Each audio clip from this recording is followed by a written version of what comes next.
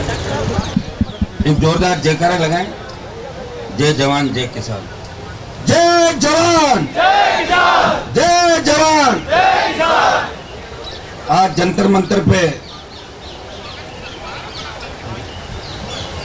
पिछले चार दिनों से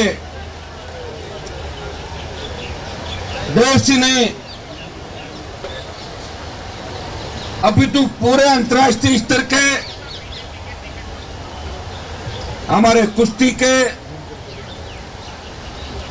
और तमाम खेलों के वो अंतर्राष्ट्रीय स्तर के खिलाड़ी, हमारी छोटी बहनें, जिनके साथ सेल्फी लेने के लिए लोग लाइन पे लगे रहते थे, आज हिंदुस्तान के अंदर लोकतंत्र बचाने के लिए एक बाहुबली को सड़कों के पीछे कैसे डलवाया जाए इसको लेके चार दिन से लगातार जंतर मंतर पे ऐतिहासिक आंदोलन कर रहे हैं। मैं धन्यवाद दूँगा इन सबको मेरे भाइयों को बहनों को कि उन्होंने ऐतिहासिक शुरुआत की।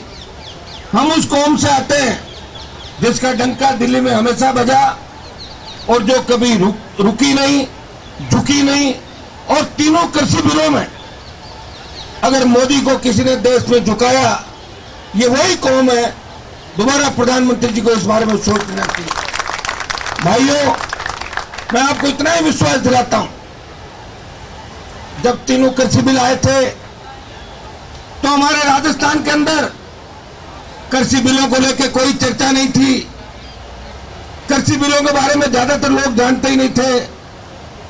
मेरे से जब हमारे समाज के बड़े नेताओं ने बात करी हनुमान जी, आप मोदी का साथ छोड़ो। सरकार पर दबाव बन सकता है। इस देश की सबसे नई पार्टी, राष्ट्रीय लोकतांत्रिक पार्टी। मैं भी चाहता तो मोदी के साथ मंत्रिमंडल में शामिल हो सकता था, लेकिन अपने भाइयों की दुख तकलीफ़ देख के हनुमान बेरीवाल ने एनए चार्ट को जाम किया, जो एनए चार्ट गुजर आरक्षण आंदोलन के टाइम भी जाम नहीं हुआ था। और सत्तर दिन देश की सड़क पर कोई शासक बैठा, वो नागौर का शासक था, जिसने बिना शर्त मोदी की सत्ता को ठोकर मारी और चुनौती दी।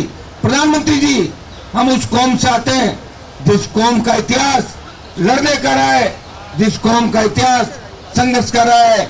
हमने त्याग, तपस्या और रणभूमि में दुश्मनों के छक्के छुड़ा दिए। हमारी कौम के वो वीर जिनके इतिहास के पन्ने आप पलटोगे तो हर पन्ने पे जाट कौम का इतिहास लिखा है। और भाइयों, यही नहीं, जब अग्निपथ